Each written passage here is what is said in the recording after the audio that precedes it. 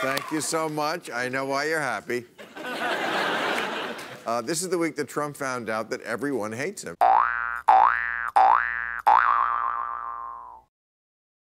Right now, these, the dereliction of duty out of the Republican Party is, is outrageous.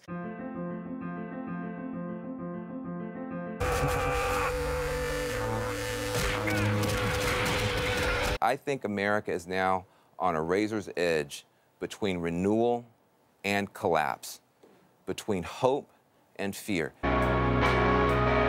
Bob Woodward's new book came out, or the excerpts did, and it's called All the President's Men Think He's an Idiot. It is Hope and heartbreak are in a foot race right now in America.